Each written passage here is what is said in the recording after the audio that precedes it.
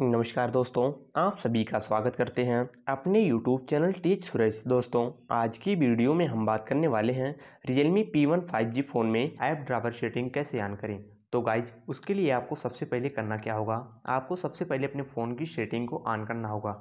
Guys आप अपने phone की सेटिंग को ऑन करना, उसके बाद कुछ इस प्रकार का इंटरफेस ओपन हो जाएगा। आप यहाँ से थोड़ा सा स्क्रॉल अप करेंगे।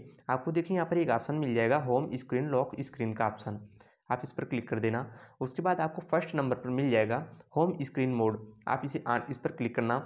उसके बाद आपको देखिए यहाँ पे दो प्रकार का ड्राइवर मोड मिल जाएगा। एक स्टैंडर्ड, दूसरा है ड्राइवर मोड। आप स्टैंडर्ड मोड पर क्लिक करके यहाँ से अप्लाई करना और यहाँ से आपको एक ऑप्शन आ जाएगा स्विच का। आप स्विच वाले ऑप्शन पर अप्लाई कर दीजिएगा। उसके बाद आपका जो है ऐप ड्राइवर कुछ इस प्रकार से हो जाएगा।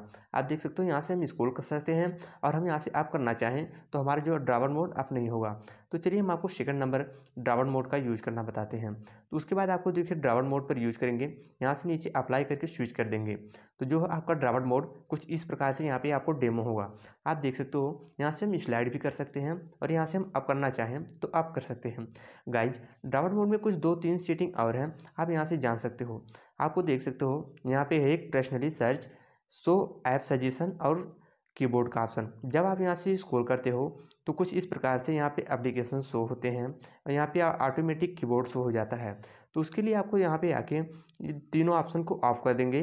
तो जब आप यहाँ से ड्राइवर मोड को यहाँ से ऑन करेंगे, ना ऊपर एप्लीकेशन शो होगा, ना सजेशन में कोई एप्लीकेशन रहेगा और ना ही आपका ऑटोमेटिक कीबोर्ड यहाँ पे आएगा। तो गाइज़ आप अपने फ़ोन में कुछ इस प्रकार से ऐप ड्राइवर की सेटिंग ऑन करना चाहते हो तो आप कर सकते हो। आई होप गाइज़ आपको हमारी वीडियो पसंद आई हो तो लाइक और चैनल को सब्सक्राइब ज़रूर करें। मिलते हैं फिर किसी दिन नेक्स्ट टॉपिक नेक्स्ट वीडियो तब तक के लिए बाय टेक केयर